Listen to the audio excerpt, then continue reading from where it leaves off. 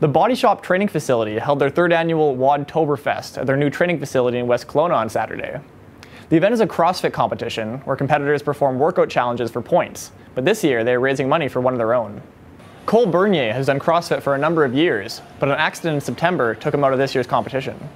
Just over seven weeks ago, um, on the job, he was on a building site um, in Westbank, and some trusses um, that were loaded with about 70 sheets of plywood on top of them um, came down onto Cole.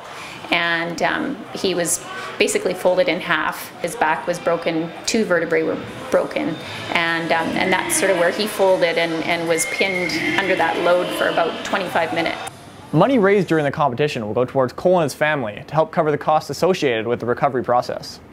Part of the proceeds of registration um, are going towards Cole. So the shirts and the and the wristbands and the underwear all have Bernier Strong on them, and the proceeds from all that are going to Cole. The CrossFit community has rallied around Cole since his accident.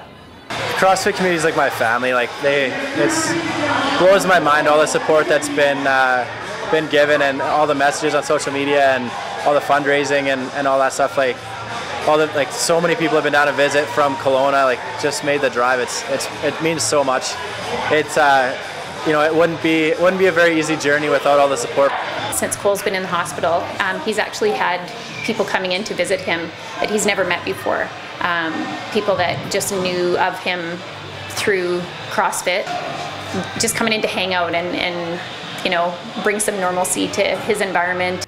The fighting spirit Cole had before his accident remains today, and he's determined to work towards recovery. Um, spinal cord injuries are very complicated. Um, and he currently doesn't have any movement or sensation below the waist, but he's, uh, he's really optimistic and determined that he's going to be back on his feet again one day. For Castanet News, I'm Nich Johansen.